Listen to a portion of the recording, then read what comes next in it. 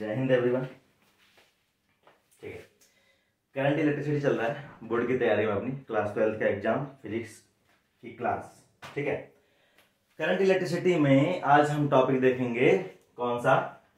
Relation between relation relation between conductivity conductivity and resistivity and resistivity direct relation है, क्या relation है? Sigma is equal to conductivity को sigma से represent करते हैं, रेस्टिविटी को रो से रिप्रेजेंट करते हैं। Sigma is equal to one upon rho we know that SI unit of resistivity is simply ohm metre then what is the SI unit of sigma conductivity क्या इसका inverse yes और no क्या ओम पर पर ओम पर metre लिख सकते हैं? यस और नो ठीक है? यहाँ पर अगर क्वेश्चन बनेगा तो असाइनमेंट से बनेगा डायरेक्ट डेटा को लिख दे देगा, हमसे न्यूमेरिकल पूछ लेगा। बोर्ड का एग्ज़ाम में ज़्यादा परेशान नहीं होना है, ठीक है? बोर्ड से फिर पूछ जानना चाहेगा कि आपको डेटा पता है कि नहीं, क्या फॉर्मूला पता है कि नहीं, क्या बेसिक कॉन्सेप्ट क्लियर है या नहीं। ठीक है? आगे बढ़ते हैं, जरा नेक्स्ट टॉपिक की ओर। नेक्स्ट टॉपिक हमारे पास है dependency temperature dependency of resistivity next topic हमारे पास है temperature dependency of resistivity temperature temperature dependency dependency of resistivity of resistivity ध्यान देखिए हमने लास्ट टू लास्ट क्लास में देखा था कि रेजिस्टेंस इज़ इक्वल टू क्या है? डिराइव किया था हमने M L upon N E square tau A जिसको रिलेट किया था इक्वेट किया था हमने किससे? Rho into L by A अगर इक्वेट करें कंपेयर किया जाए तो एल वाई ए यहाँ भी है एल वाई ए यहाँ भी है तो बाकी बचा हुआ टर्म क्या कहलाएगा? रो कहलाएगा। हमारे पास आ गया rho is equal to mass upon N E square term अब सुनेगा ध्यान से। अगर आप टेम्परेचर कोई पर्टिकुलर मटेरियल हमने ले लिया, आप टेम्परेचर इंक्रीज करते हैं तो mass constant number of electrons पर वॉल्यूम कांस्टेंट चार्ज कांस्टेंट क्या बदलेगा? ये जो टाउ हमारे पास जो होता है average relaxation time average relaxation time average relaxation time क्या है? दो आयंस के बीच का कोलिजन इलेक्ट्रॉन इससे कोलाइड हुआ, फिर इससे कोलाइड हुआ इसके बीच में तो कोई कोलिजन नहीं हो रहा है ना? इसी टाइम को एवरेज रिलैक्सेशन टाइम बोलेंगे। सारे इलेक्ट्रॉन के जब एवरेज निकाल लेते हैं तो। जब आप टेम्परेचर इंक्रीज करेंगे तो एक दूसरे यहाँ पे क्या होता है? वाइब्रेशन के बीच में आना शुरू हो जाएगा। वाइब्रेशन आना शुरू हो जाएगा। इलेक्ट्रॉन के पास एक्स्ट्रा एनर्जी आएगी। इलेक्ट्रॉन क्या करेगा? जो पहले आराम से धीरे धीरे कोलिजन होता है फास्ट कोलिजन होना शुरू हो जाएगा। फास्ट कोलिजन होना शुरू हो जाएगा। जब कोलिजन फास्ट होगा तो time between two collision increase होगा या डिक्रीज होगा? फास्ट हो रहा है। तो टाइम डिक्रीज हो जाएगा। यानी जब आप टेम्परेचर इंक्रीज करेंगे तो एवरेज रिलैक्सेशन टाइम डिक्रीज होगा। यहाँ डिनोमिनेटर में अगर एवरेज रिलैक्सेशन टाइम डिक्रीज होगा तो पूरी वैल्यू इंक्रीज होगी तो हमारे पास रेजिस्टिविटी की वैल्यू भी इंक्रीज हो जाएगी। By previous relation sigma is equal to one upon rho अगर रेजिस्टिविटी इंक्रीज होगा तो कंडक्टिविटी डिक्रीज हो जाएगी। बात समझ में आ गया? यस और नोट कर लीजिएगा इसको। अब सुनिए। जो इनका टेम्परेचर से रिलेशन है कंडक्टिविटी का कंडक्टिविटी का, जो टेम्परेचर से रिलेशन है लीनियर रिलेशन है और डायरेक्ट फार्मूला बेस्ड क्वेश्चन आएगा। बस फार्मूला आपको याद रहना चाहिए। क्या फार्मूला है? तो resistivity at temperature T is equal to resistivity at temperature T naught in bracket one plus alpha T minus T naught one plus alpha T minus T naught at temperature T naught resistivity is rho naught at temperature T resistivity is rho T बात समझ में आ गया? Where alpha is the coefficient of resistivity where alpha is the coefficient coefficient of resistivity of resistivity. Alpha is the coefficient of resistivity अब सुनिएगा। अगर alpha को unit find करना हो थोड़ा सा इसको एडजस्ट करते हैं। इसको अंदर लेके जाएँ तो rho T resistivity at temperature T is equals to rho naught multiplication plus rho naught alpha T minus T naught इसको इसको इस साइड लेकर आइए तो आ जाएगा यहाँ पास rho naught alpha T minus T naught is equal to at temperature T minus at temperature T naught यहाँ से अल्फ़ा आ जाएगा हमारे पास rho T minus rho naught upon rho naught in bracket T minus T naught ठीक है ना? अब सुनिएगा। चेंज इन रजिस्टिविटी जो भी वैल्यू आएगा, क्या रजिस्टिविटी ही आएगा? और रजिस्टिविटी के एस यूनिट जस्ट अभी हमने देखा, वो एस यूनिट क्या है? अगर मैं S unit of coefficient of resistivity की बात करें तो S unit of change in resistivity जो रेजिस्टिविटी की यूनिट होगी, वही चेंज इन रेजिस्टिविटी की भी यूनिट होगी। क्यों? क्योंकि जब आप डिफरेंस करेंगे तो एंड रिज़ल्ट रेजिस्टिविटी ही आएगा और उसका ऐसा यूनिट होगा ohm metre upon initial resistivity हो फाइनल रेजिस्टिविटी हो, कोई भी रेजिस्टिविटी हो रेजिस्टिविटी है ना? रेजिस्टिविटी का ऐसा unit ohm metre change in temperature temperature का यूनिट है डिग्री सेल्सियस या केल्विन भी लिख सकते हैं। ये कैंसिल हुआ तो क्या कह सकते हैं? ऐसा यूनिट ऑफ़ अल्फ़ा यहाँ हमारे पास आ जाएगा पर डिग्री सेल्सियस पर पर डिग्री सेल्सियस फाइनल हमारा ऐसा यूनिट ऑफ़ अल्फ़ा आ गया, ठीक? अब यहाँ पे एक चीज़ और इंपॉर्टेंट है, इसको और लिख लीजिएगा वीडियो पॉज करके। ज़्यादा वीडियो बड़ी ना हो जाए इसके लिए थोड़ा सा आप लोग वीडियो पॉज करके डेटा लिख लीजिएगा। आगे बढ़ते हैं, जरा यहाँ देखते हैं। एक जो सबसे अच्छी चीज़ पूछी जाती है ग्राफ पूछते हैं डायग्राम पूछते हैं किसमें? रजिस्टिविटी वर्सेस टेम्परेचर का। रजिस्टिविटी वर्सेस टेम्परेचर का फॉर बोर्ड एग्ज़ाम की बात करें तो रजिस्टिविटी वर्सेस टेम्परेचर का कैसा ग्राफ तीन होगा हमारे पास एक्स एक्सिस पर टेम्परेचर वाई एक्सिस पर रजिस्टिविटी। रजिस्टिविटी। ठीक है? अगेन एक्स एक्सिस पर टेम्परेचर वाई एक्सिस पर रजिस्टिविटी। रजिस्टिविटी। और थर्ड वन ले लेते हैं एक्स एक्सिस पर टेम्परेचर वाई एक्सिस पर रजिस्टिविटी रजिस्टिविटी ठीक है? अब सुनिएगा। पहला केस आपको देंगे pure metal pure metal pure metal मतलब सिंगल एक मेटल होगा कॉपर सिल्वर कोई भी एग्जांपल दे देंगे। ठीक? दूसरा एलोय एलोय तो निक्रोम मैग्नीन कोई भी एलोय आपको दे देंगे एग्जांपल तो थर्ड होगा सेमीकंडक्टर थर्ड होगा सेमीकंडक्टर और सेमीकंडक्टर हम लोग कब पढ़ेंगे? लास्ट चैप्टर में, ठीक है ना? यहाँ पे जो रेस्टिविटी वर्सेस टेम्परेचर का ग्राफ बनेगा फॉर प्योर मेटल कुछ ऐसा बनेगा। ठीक है, याद रखिएगा। रेस्टिविटी वर्सेस टेम्परेचर के लिए एलॉय के लिए जो ग्राफ ग्राफ बनेगा, कुछ ऐसा बनेगा। देखिए एट टेम्परेचर ज़ीरो भी एलॉय के पास कुछ रेजिडुअल रेस्टिविटी रह जाता है, ये वही रेस्टिविटी है। ठीक है? सेमीकंडक्टर क्या होगा? टेम्परेचर बढ़ाने के साथ रेस्टिविटी घटेगी। देखिए जब आप टेम्परेचर बढ़ाते हैं तो प्योर मेटल की रेस्टिविटी बहुत तेज रेट तेज़ी रेट तेज रेट से बढ़ती है। लेकिन रेस्टिविटी वर्सेस टेम्परेचर एलॉय का उतना तेज़ी से नहीं बढ़ेगा नॉर्मली बढ़ता है। लेकिन सेमीकंडक्टर का अगर देखा जाए तो टेम्परेचर बढ़ने के साथ साथ इसकी रेस्टिविटी डिक्रीज होती है। डिक्रीज होती है। बोर्ड पॉइंट ऑफ़ व्यू से बहुत इंपॉर्टेंट ठीक? इसको नोट करने के बाद से वीडियो पॉज कर लीजिएगा, फिर इसको नोट कर लीजिएगा। नोट करने के बाद से रेजिस्टेंस का रिलेशन टेम्परेचर देखते हैं। रेजिस्टेंस का रिलेशन विथ टेम्परेचर देखते हैं। जो हमारा टॉपिक है हमारे पास सिलेबस आप निकाल के अपने पास रखिए syllabus wise topic to topic बढ़ेंगे फॉर बोर्ड एग्ज़ाम सत्तर का टारगेट है, पूरा सत्तर लेकर आना है, ठीक है? तो सुनिए। Resistance is equal to we know that rho into L upon A it means resistance directly proportional to rho मतलब टेम्परेचर के चेंज होने के से जैसा जैसा रो में चेंजेस देखने को मिलेगा, जैसा जैसा रेजिस्टिविटी में चेंजेस देखने को मिलेगा, वैसा एक चेंजेस आपको आर में देखने को मिलेगा। तो क्या कह सकते हैं? सेम रिलेशन हम कह सकते हैं resistance at temperature T is to resistance at temperature T naught in bracket one plus alpha T minus T naught bracket close ये फॉर्मूला है। आपको डायरेक्ट न्यूमेरिकल वैल्यू दिया गया होगा। आप इसे अप्लाई करना आंसर आएगा। विदाउट एनी डाउट ठीक है? अब आते हैं नेक्स्ट टॉपिक अपना। अब आते हैं नेक्स्ट टॉपिक अपना। और टॉपिक है हमारे पास सेल सेल के बारे में जरा बात करते हैं।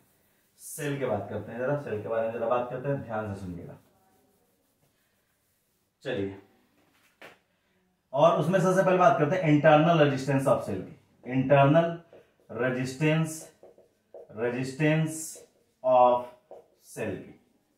जो हम लोग एक सर्किट अगर बनाए, ध्यान रखिएगा एक एक्सटर्नल सर्किट रेजिस्टेंस है कैपिटल आर एक बैटरी है जिसको हम ऐसे कुछ डिज़ाइन करते हैं और उसका इंटरनल रेजिस्टेंस कुछ ऐसे लिखते हैं। स्मॉल आर से, ये हो गया बैटरी का एमएफ ई हो गया। अब सुनिएगा। इस सर्किट कंप्लीट है तो इसमें करंट फ्लो होगा। सर्किट में करंट फ्लो होगा। करंट फ्लो होने का मतलब कि इसमें चार्ज फ्लो हो रहा है। चार्ज फ्लो हो रहा है yes negative charge positive charge flow हो रहा है। जब वो चार्ज फ्लो होकर मान लीजिए ऐसे आ रहा होगा तो इस टर्मिनल के बाद से इस टर्मिनल पे कैसे पहुँच रहा होगा? ठीक? क्या ये बीच में गैप है क्या? ऐसा नहीं है। हम लोग बनाते हैं ऐसा लेकिन ऐसा नहीं है। ठीक? या इस टर्मिनल से इस टर्मिनल पे कैसे पहुँच रहा होगा? तो होता क्या है ये दोनों किसको रिप्रेजेंट करते हो? जो हमारे दो रॉड्स है उसको रिप्रेजेंट करते हैं ये दोनों। ये पॉजिटिव टर्मिनल से नेगेटिव टर्मिनल अब ये दोनों रॉड्स क्या होते हैं? किसी इलेक्ट्रोलाइट्स में होते हैं। मतलब ये दोनों रॉड्स जिसमें होते हैं उसके आस, उनके आसपास क्या होता है? इलेक्ट्रोलाइट्स होता है। जब चार्ज को ट्रेवल करना होता है lower potential to higher potential या हायर पोटेंशियल से लोअर पोटेंशियल तो वो इलेक्ट्रोलाइट्स के थ्रू ट्रेवल करते हैं। जो इलेक्ट्रोलाइट्स है ना, उनके थ्रू ट्रेवल करते हैं। अब इलेक्ट्रोलाइट्स में आयंस प्रेजेंट होते हैं। तो उन आयन से उन चार्ज का कोलिजन होगा। उन चार्ज का कोलिजन होगा। क्योंकि भाई उसको दूसरे रॉड पे तो जाना ही जाना है। कोलिजन होगा। उस कोलिजन की वजह से वो कुछ रेजिस्टेंस फील करते हैं। वो स्मूथली नहीं जा पाते हैं। कोलिजन की वजह से रेजिस्टेंस फील करते हैं। वही रेजिस्टेंस ऑफ़ किसी का इंटरनल रेजिस्टेंस ऑफ़ सेल कहलाता है। कभी भी अगर कोई आपसे पूछता है कि इंटरनल रेजिस्टेंस ऑफ़ सेल का मतलब कि सेल के अंदर कोई फ़िज़िकल रेजिस्टेंस कनेक्टेड है क्या? नहीं। सेल दो रॉड लगे हैं, उनके अंदर इलेक्ट्रोलाइट है। इलेक्ट्रोलाइट्स के आयंस जब चार्ज फ्लो करते हैं from lower potential to higher potential और from higher potential to lower potential जब चार्ज फ्लो करते हैं तो उन फ्लो चार्ज के फ्लो के सामने कुछ ना कुछ कोलिजन होता है। किससे कोलिजन होता है? इलेक्ट्रोलाइट्स के आयन से कोलिजन होता है। उसी को इंटरनल रेजिस्टेंस ऑफ़ सेल बोलते हैं। और जिसको स्मॉल आर से रिप्रेजेंट करते हैं, कुछ ऐसे लिखते हैं। बात समझ आ गया ये जो रेजिस्टेंस है ना उन इलेक्ट्रोलाइट्स के बीच में है, यहाँ पे नहीं बना सकते, इसलिए यहाँ पे सिंपली साइड में ड्रॉ कर रहे हैं। ये मत सोचेगा कि बैटरी के साथ कोई रेजिस्टेंस है, नहीं। बैटरी के अंदर जो इलेक्ट्रोलाइट्स की वजह से जो रेजिस्टेंस प्रोवाइड हो रहा है, ये वो है, बस बनाने का तरीका ऐसा है। बात समझ में आ गया अब सुनिए अगर आई करंट फ्लो हो रहा है तो इसके क्रॉस वोल्टेज जब करंट एंटर कर रहा है तो पॉजिटिव निकल रहा है तो नेगेटिव वोल्टेज मान लेते हैं वी है। ठीक है? ये पूरा इसके पूरे टर्मिनल के क्रॉस कनेक्टेड है। मतलब इस टर्मिनल के क्रॉस कनेक्टेड है, हमेशा बॉक्स बना रहे हैं। तो इसके क्रॉस भी कितना वोल्टेज हो जाएगा? वी क्योंकि पैरेलल कॉम्बिनेशन है। क्योंकि पैरेलल कॉम्बिनेशन है। एक रिलेशन है, हमने कहा था कि जब इलेक्ट्रोमोटिव फोर्स और हमने पोटेंशियल डिफरेंस पढ़ा था इसी कंटिन्यूएशन में सीरीज़ के कंटिन्यूएशन में, हमने देखा था कि अगर आई ज़ीरो है तो इलेक्ट्रोमोटिव फोर्स और पोटेंशियल डिफरेंस टर्मिनल के अक्रॉस का पोटेंशियल डिफरेंस दोनों सेम होगा, उसको हमने ई इक्वल टू वी लिखा था। लेकिन लेकिन हमने ये भी बोला था कि अगर करंट फ्लो हो रहा है तो पोटेंशियल डिफरेंस हमेशा छोटा होगा इलेक्ट्रोमोटिव फोर्स से। ऐसा क्यों कहा था हमने? जो इलेक्ट्रोलाइट्स की वजह से जो रेजिस्टेंस है बीच में इलेक्ट्रोलाइट्स के बीच में जो रेजिस्टेंस है बीच में, उनकी वजह से बीच में कुछ ना कुछ वोल्टेज ड्रॉप होगा। कौन सा? करंट टाइप फ्लो हो रहा है और आर ये रिलेशन इतना ड्रॉप होता है वोल्टेज का। इसीलिए इलेक्ट्रिक मोटिव फोर्स पोटेंशियल हमेशा छोटा होता है। अगर इन दोनों को इक्वल करना है तो जो ड्रॉप हो रहा है इंटरनल रेजिस्टेंस में अगर उनको आप ऐड कर दोगे तो दोनों इक्वल हो जाते हैं। बहुत इंपॉर्टेंट रिलेशन है, बहुत इंपॉर्टेंट रिलेशन यहाँ से अगर आप देखो आर की वैल्यू आपके पास आ जाएगी E minus V upon I E minus V upon I दूसरा, यहाँ पे अगर देखा जाए ओम्स लॉ लगाया जाए तो वी इक्वल क्या हो जाएगा? आई इंटू आर यहाँ पर अगर देखा जाए वी इक्वल क्या हो जाएगा? आई इंटू आर और यहाँ से अगर देखा जाए आई की वैल्यू हमारे पास क्या आ जाएगी? यहाँ से। वी की वैल्यू यहाँ पुट कर देते हैं तो ईएमएफ इक्वल टू हो जाएगा I R plus I small R I common ले लीजिए ब्रैकेट में R plus small R equal to E M F E I equal to हो जाएगा E upon capital R plus small R ये current हमारा इस सर्किट में flow हो रहा है। अगर ध्यान से देखा जाए, हमने पढ़ा था ना ओम्स लॉ में I equal to V upon R circuit का वोल्टेज सेल का वोल्टेज अपॉन टोटल रेजिस्टेंस अगर यहाँ देखा जाए तो सर्किट का वोल्टेज कितना है? ईएमएफ पूरा सीरीज़ में कनेक्टेड है। अपन टोटल रेजिस्टेंस क्या हो जाएगा R plus small R series connection R plus small R बात समझ में आ गया? उसके बाद से इसमें कुछ ग्राफ है।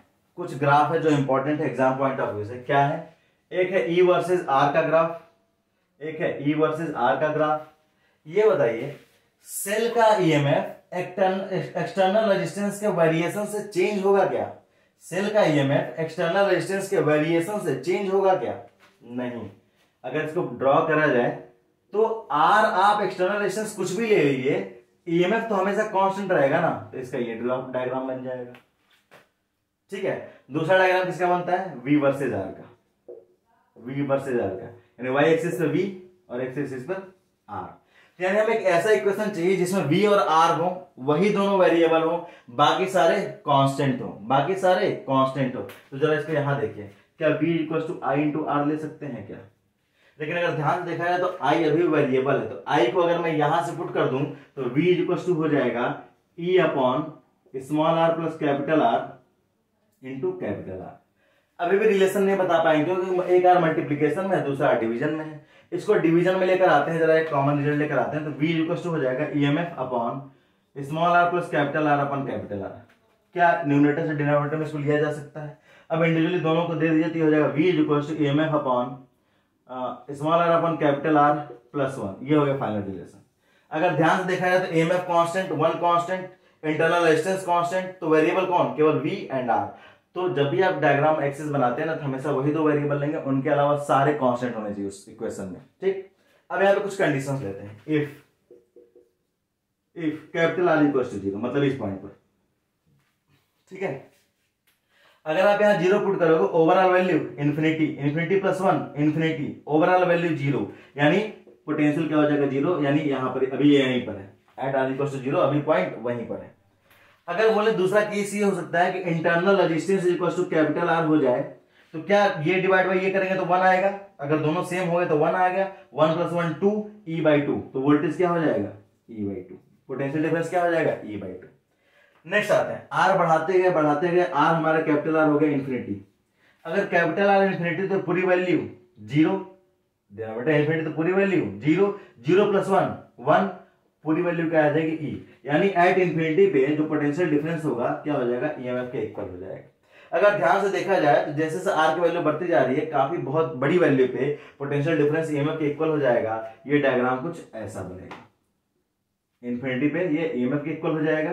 And at R equal to capital R पे ये ई बाई टू हो जाएगा, बहुत इंपॉर्टेंट ग्राफ बहुत ही इंपॉर्टेंट ग्राफ ठीक है? ध्यान से देखिएगा, और इसका रिलेशन कहाँ कहाँ से उसको अच्छे से नोट कर लेंगे। ठीक है? थर्ड और लास्ट ग्राफ जो है हमारे पास थर्ड और लास्ट ग्राफ जो है हमारे पास वीडियो पॉज करके आप इसको ड्रॉ कर लीजिएगा। आप पीछे करके आप इसको ड्रॉ कर लीजिएगा। ठीक है? जो थर्ड और लास्ट ग्राफ हमारे पास है, वो है वी वर्सेज आई का। वी वर्सेज आई का। ठीक है? तो हमें एक ऐसा रिलेशन चाहिए जिसमें v वेरिएबल हो, i वेरिएबल हो, बाकी सारा कांस्टेंट हो। बाकी सारा कांस्टेंट हो। क्या यहाँ से ये रिलेशन ले सकते हैं? ये सो जरा देखिए यहाँ पर।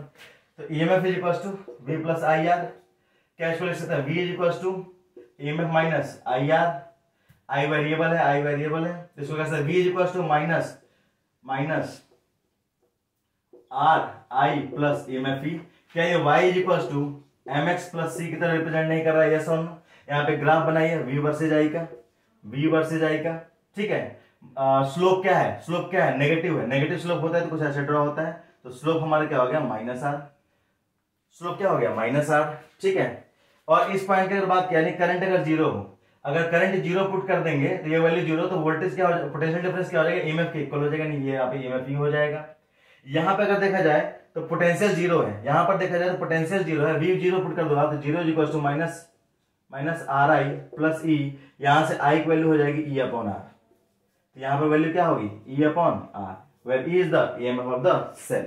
तो ये सेल के बारे में कंप्लीट जानकारी हमारी, रिलेशन उसका EMF versus potential difference versus internal resistance और उसके डायग्राम्स डायग्राम्स इंपॉर्टेंट है एग्ज़ाम पॉइंट ऑफ़ व्यू से बोर्ड पॉइंट ऑफ़ व्यू से हमारे। बात समझ आ गया? नेक्स्ट क्लास में इसको रिलेटेड क्वेश्चन सॉल्व करेंगे। जय हिंद